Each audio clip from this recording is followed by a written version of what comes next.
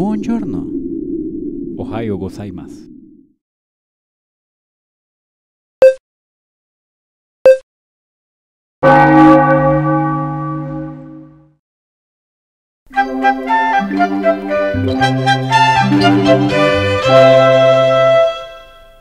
Hola amigos, amigas, ¿cómo están? Que tengan un día espectacular, maravilloso. Y vamos con el capítulo 10 de esta increíble historia de Anthony, escrita por Sandy Sánchez. Vamos en el capítulo 10, el consejo de un hermano. Pero antes de iniciar quiero decirles lo siguiente. Muchísimas gracias por su comprensión. Eh, tengo que ser sincero con ustedes. Es que las cosas no están marchando muy bien que digamos, pero no pasa nada.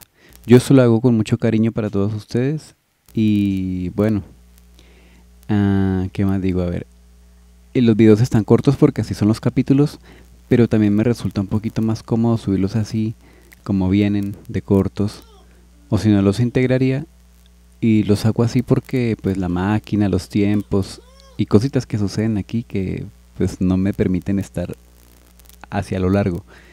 Entonces, bueno, capítulo 10, con mucho cariño para todos ustedes. Les voy a decir aquí cuántos capítulos tiene esta historia, ¿listo? Si nos vamos al final, ¿ve capítulo 11 un sueño? No. Ah, 17. Sí, tiene 17 capítulos, vamos en el 10. No, no falta nada. Toca es ponernos las pilas y pues con mucho cariño hacerlo para todos ustedes, ¿vale? Entonces, ahora sí ya, sin más dilación, no las molesto más. Que tengan un día espectacular, maravilloso. Son personas increíbles, eh, espectaculares.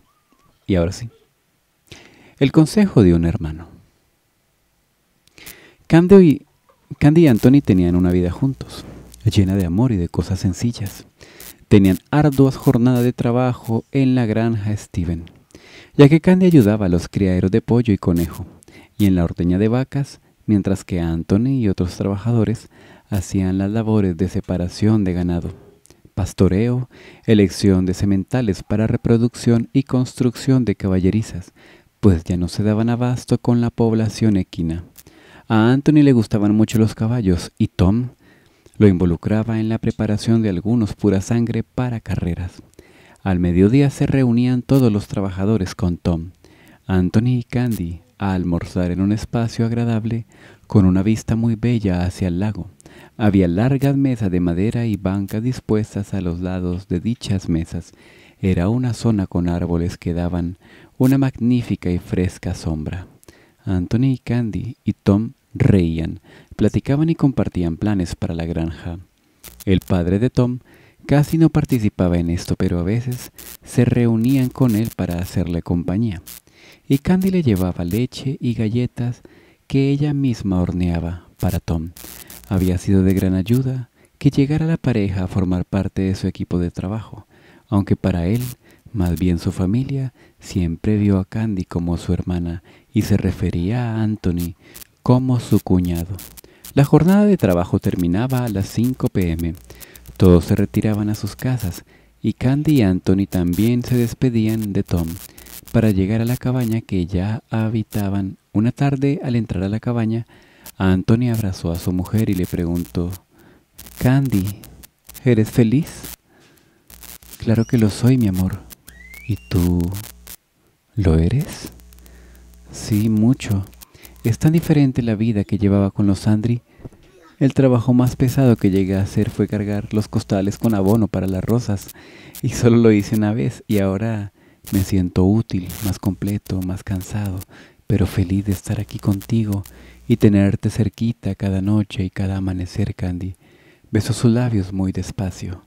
Amo despertar en la mañana y verte dormida, acurrucada junto a mí. Me encanta sentir que te protejo. Bajo la mirada sonriendo.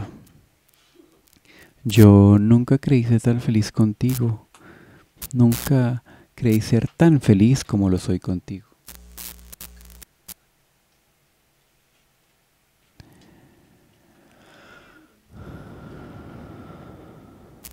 Cuando vivía en el establo de los Ligan, me daba ánimos pensando que no importaban las humillaciones o el trabajo pesado, De alguna forma estaría cerca de ti.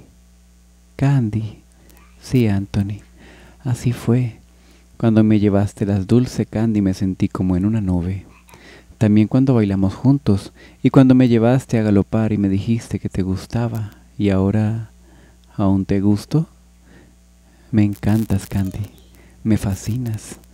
Y Anthony comenzó a besar el cuello mientras se dirigía a su recámara. Anthony, ¿sí? ¿Desde cuándo te enamoraste de mí? Desde el baile que se organizó en la mansión de Lidwood, ¿recuerdas? Cuando te espantaste en el tercer piso, desde ese día no pude sacar tu mirada de mi mente.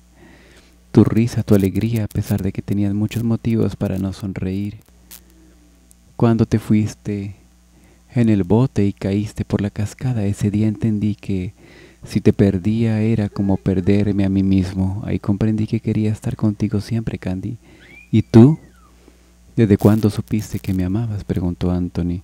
Desde el día que galopamos juntos, cuando me lo dijiste que te gustaba, comenzó a sentir algo muy fuerte por ti.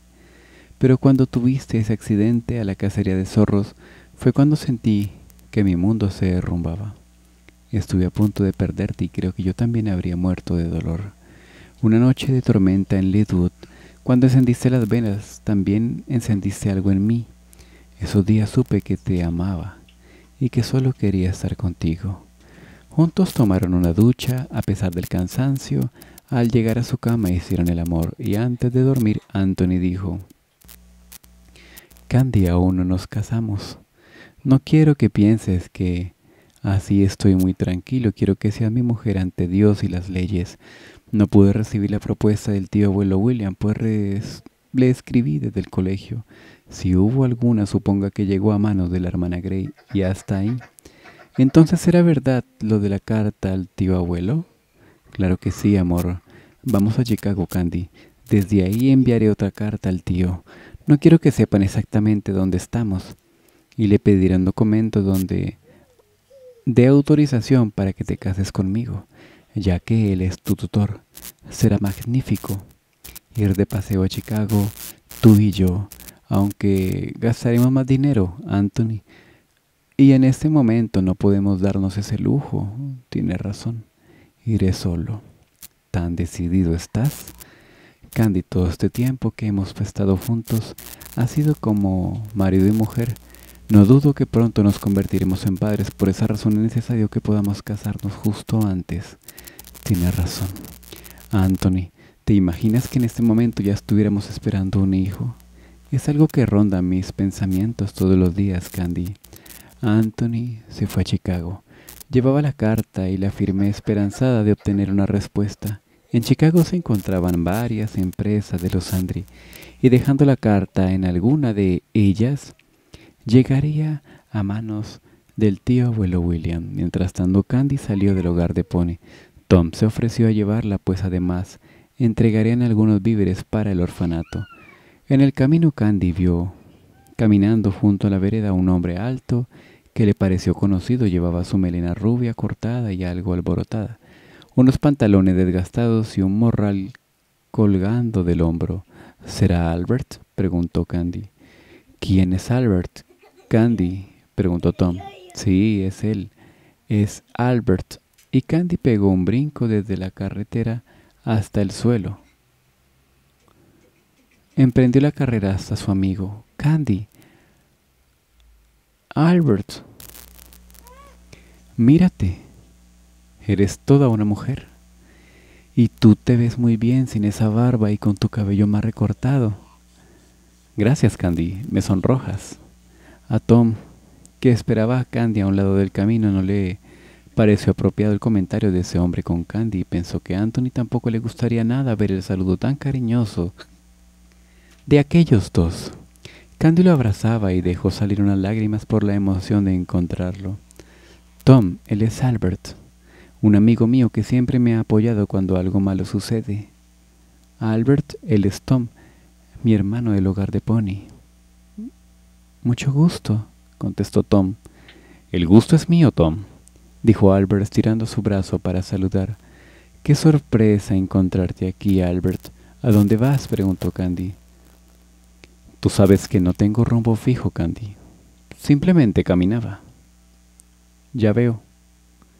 Siendo así, ¿nos puedes acompañar al hogar de Pony?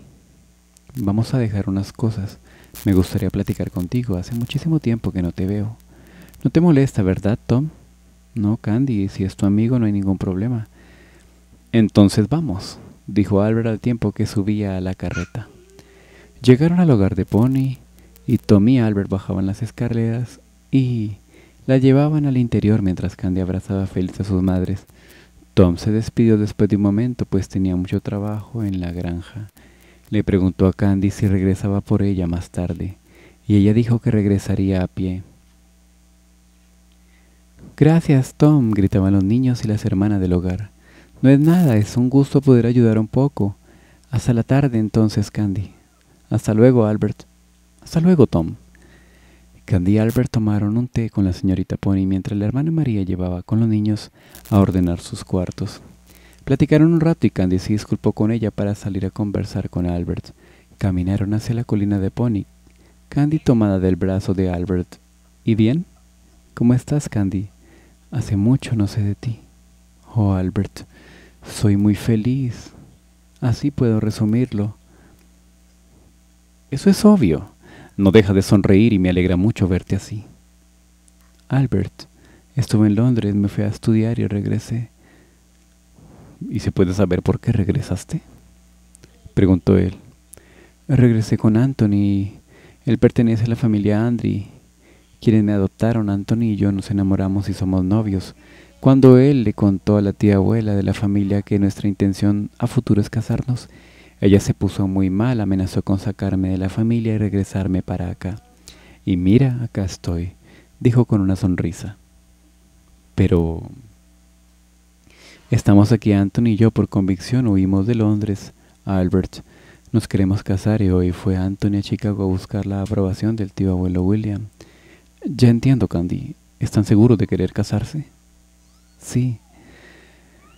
Entonces no hay más que decir, espero que sus planes resulten como ustedes lo desean. Si tomaron la decisión de estar juntos es porque algo muy fuerte los une. Deseo que... Deseo que sigas siendo muy feliz, Candy. Yo debo retirarme, buscaré dónde pasar la noche. Ha sido muy reconfortante verte y saber que estás bien. Acercándose a ella besó su frente y le dio un abrazo. Albert, espero verte pronto. Yo también espero verte muy pronto, pequeña. Ya sabes cómo comunicarte conmigo. Cuídate, Albert. Tú también, Candy. Cuídate. Candy regresó al hogar para despedirse y caminó hacia la granja Steven. Ya en la cabaña, mientras terminaba de preparar la merienda, alguien tomó su puerta Alguien tocó la puerta. Hola Tom, estoy preparando chocolate y panques, ¿te gusta? Gracias Candy.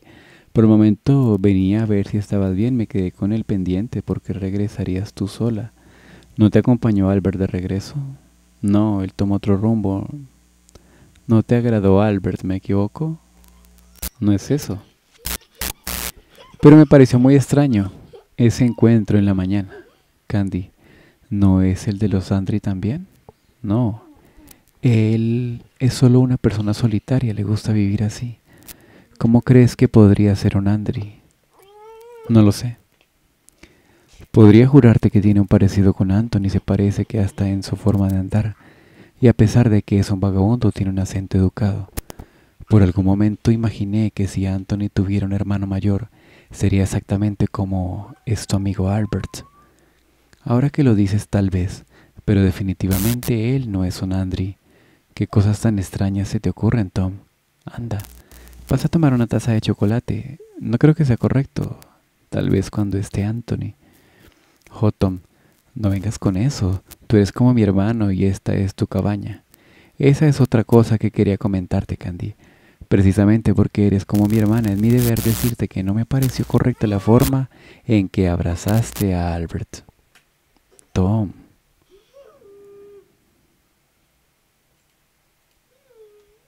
Y no me hagas esa cara, Candy. Tú ya estás con Anthony. Si aún no son esposos es como si lo fueran. No puedes andar por ahí saludando tan efusivamente a tus amigos varones. Me pongo en el lugar de Anthony. No me agradaría nada ver esas muestras de cariño de mi mujer hacia otros hombres, aunque sea solo un saludo. No es... Solo es un consejo, no vine a retarte. Está bien, Tom. Tendré más cuidado. De acuerdo, Candy. Buenas noches, hermana. Buenas noches, Tom. Candy ya dormía cuando Anthony llegó a casa porque intentó esperarlo. Un sueño profundo el cansancio le vencieron. Anthony se acercó despacio y se recostó junto a ella. Le besó tiernamente el cuello y ella giró hacia él. Anthony, ¿cómo te fue? Bien, supongo, pregunté si el señor William Andry estaba en alguna de sus oficinas en Chicago. La suerte está dentro, está de nuestro lado, Candy, al parecer. Él vino a Leadwood, pero después me encontré a George y me dijo que efectivamente había estado en Leadwood arreglando unos pendientes, pero que ya iba a regreso a Londres. No tenía caso esperarlo. ¿Viste a George? Sí. Y él me dijo que el tío abuelo ya está enterado de la situación, que fue uno de los motivos por los que vino a Leadwood. Como verás, ya no fue necesario entregarle ninguna carta. Según lo que George me dijo, ya saben exactamente dónde estamos. Mira. Y puso un sobre entre las manos de Candy. ¿Qué es esto? Es dinero. Nos lo manda el tío abuelo. Guárdalo, Candy. No pienso ocuparlo ahora. Dejémoslo para una emergencia. Tío abuelo William, nunca le escribí la carta disculpándome por haber abandonado el colegio. Debe de pensar que soy una malagradecida y aún así nos envía dinero. Candy, no te preocupes por eso. George me dijo que el tío abuelo apoya nuestra decisión y que muy pronto se, se reunirá con nosotros para arreglar lo de nuestro compromiso y posteriormente nuestra boda. Y así me permites, si me permites voy a tomar un baño. El día de hoy estuve extrañando como un loco a mi mujer y ya quiero estar acostado con ella. Me hiciste mucha falta, Candy. Y tú a mí, Anthony. Anthony comenzó a llenar la tina para bañarse. Antes de dormir se quitaba la ropa y Candy lo observaba como hipnotizada ante lo que veía. Ella ya que por sí admiraba el cuerpo bien formado de Anthony, era delgado y muy alto, tenía su pecho un poco marcado por músculos que antes no aparecían. Ahora en actividad física durante... se había vuelto fuerte, que tenía en el trabajo en la granja, había desarrollado un poco más de musculatura, sus hombros se volvieron anchos, al igual que su espalda, sus piernas más firmes y el color de su piel había dejado de ser blanco para volverse un poco apiñonado en su rostro, manos y brazos, a pesar de que ya crecía una barba cerrada y bigote en su rostro. Él siempre lo mantenía afeitado, pues Candy le decía que le encantaba esa hendidura en medio mentón y los hoyuelos que le marcaban en las mejillas al sonreír. Anthony, sabiendo eso, no iba a desaparecerlos de su imagen solo por conservar la barba. Candy no perdía detalle en el cuerpo de su amado.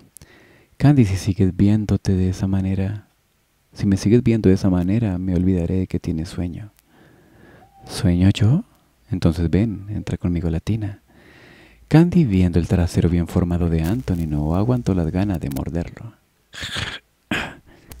Papazote. Candy, tú pediste mi compañía y no pude contenerme, lo siento.